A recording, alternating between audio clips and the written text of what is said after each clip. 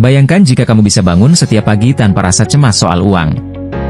Apa yang akan kamu lakukan dengan waktu yang kamu miliki?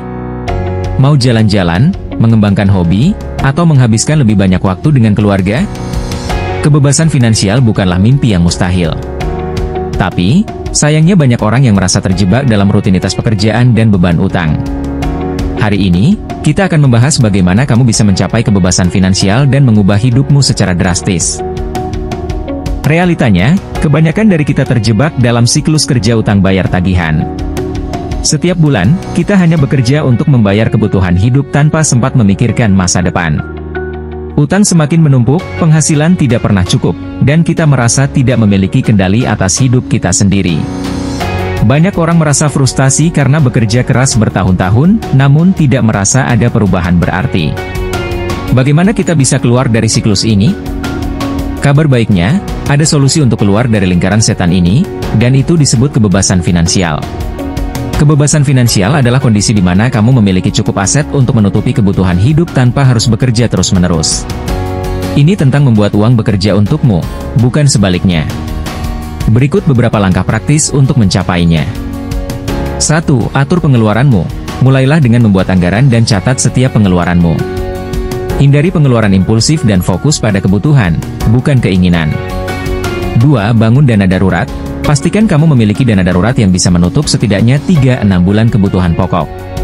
Ini adalah tamengmu jika ada hal tak terduga terjadi, seperti kehilangan pekerjaan atau keadaan darurat kesehatan. 3. Mulai berinvestasi sejak dini.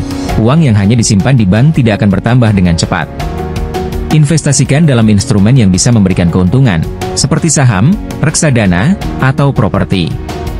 Jangan takut belajar investasi, karena itulah kunci untuk membuat uangmu tumbuh. 4. Tingkatkan penghasilanmu.